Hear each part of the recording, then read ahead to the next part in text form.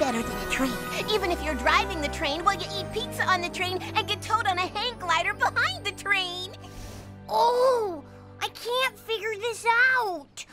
One, two, three, Hey there. I'm Moxy. What's your name? four, five, rats. Four five rats.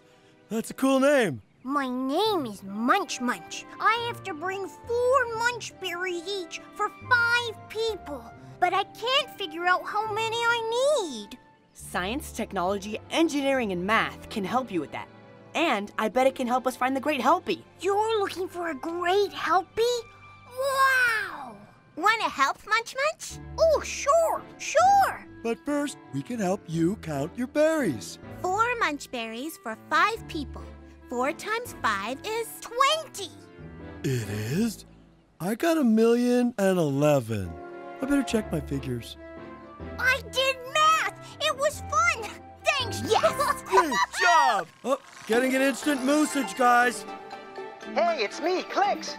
I've got the skinny on the Great Helpy. It's a half mile west of you. The sun rises in the east and sets in the west, and it's about to start setting, so that's west. But how do we measure a half mile? A half mile is 440 max. Gotta go. I have a dentist appointment. Okay, let's mac this out.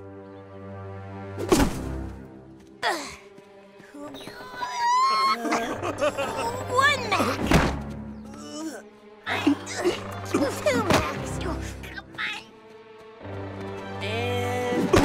440 max.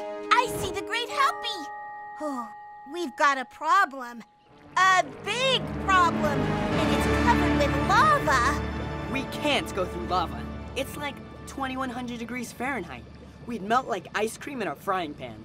Oh, did someone say ice cream? Not now, Mack. We have to figure out a plan. Oh boy. Oh boy. For once, it looks like Selfish Sheldon will get the great helpy.